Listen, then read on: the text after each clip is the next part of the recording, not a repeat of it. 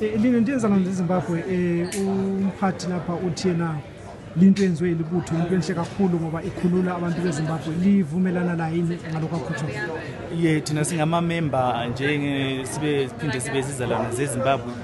siyahambisana no dr dabengwa ukuthi amabutho ethu ayenza umsebenzi omuhle kakhulu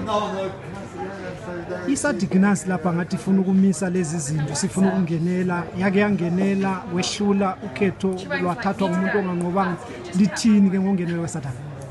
ye siyakhononda nathi ukuthi isadiki ngoba ike yathi kancane um bona abantu bezimbabwe bezilungisela indaba yabo kodwa ukhumbule phela ukuthi izimbabwe layo ikusadika bengeke bethule nxa bebona izinto ezinjalo baza belokhu bezama ukucisha umlilo kodwa besithi bona betshiyele